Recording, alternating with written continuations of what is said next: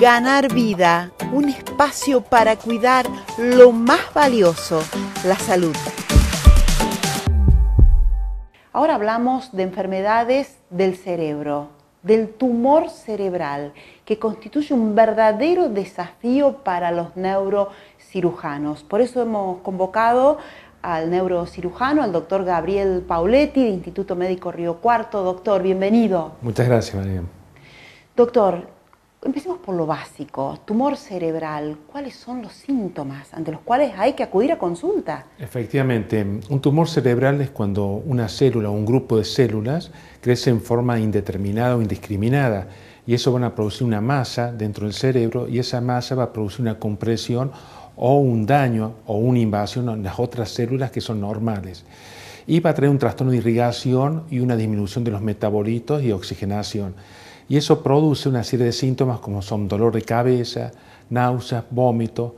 Como hay diferentes áreas funcionales en el cerebro, esas áreas pueden ser tomadas y tener problemas, por ejemplo, en el lenguaje, en la parte motora o un trastorno de la memoria o la concentración.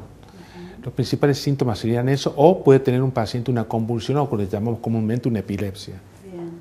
Doctor, ¿y qué soluciones eh, ofrece el Instituto Médico Río Cuarto para los tumores cerebrales? Fundamentalmente lo más importante es un diagnóstico de exactitud.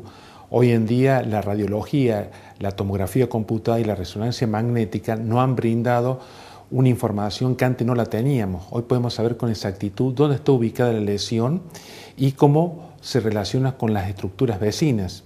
Doctor, estamos viendo en imágenes intervenciones realizadas por el equipo que usted preside en Instituto Médico Río Cuarto. Cuéntenos, ¿de qué se trata? Hoy en día contamos con una serie de, de tecnología que nos ayuda a hacer la mayor resección del tumor. Contamos con una serie de tecnologías, fundamentalmente con microscopio, microscopio quirúrgico y unos aparatos o unas pinzas son bipolares y un aspirador ultrasónico. Un aspirador ultrasónico es una cánula que está conectada a un generador de ultrasonido que permite fragmentar el tumor de forma mucho más rápida que un aspirador común y respetar áreas sanas. Eso acorta el tiempo quirúrgico y la estadía del paciente, por supuesto. Bien.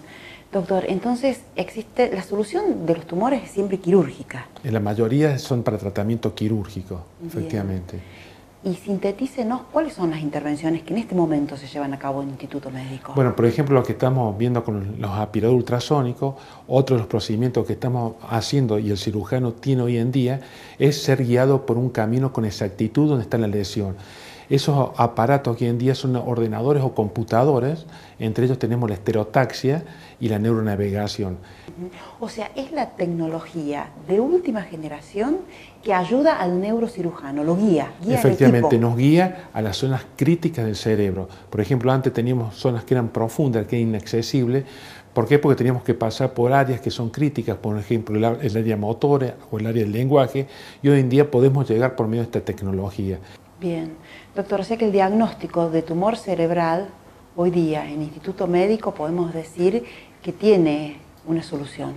Efectivamente, uno puede hacer un diagnóstico rápido y de exactitud gracias a la aparatología con, que contamos, fundamentalmente con el sistema de diagnóstico por imágenes.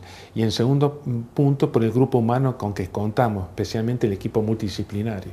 Bien, doctor doctor Gabriel Pauletti, neurocirujano del Instituto Médico Río Cuarto. Le agradecemos muchísimo esta entrevista, doctor. Bueno, muchas gracias. Y le decimos a la gente que Instituto Médico Río Cuarto está en Hipólito Yrigoyen 1020, el número de teléfono al que pueden contactarse es el 358 46 79 318. Y si no, ingresan a la página de Instituto Médico Río Cuarto y allí pueden realizar la reserva de turno.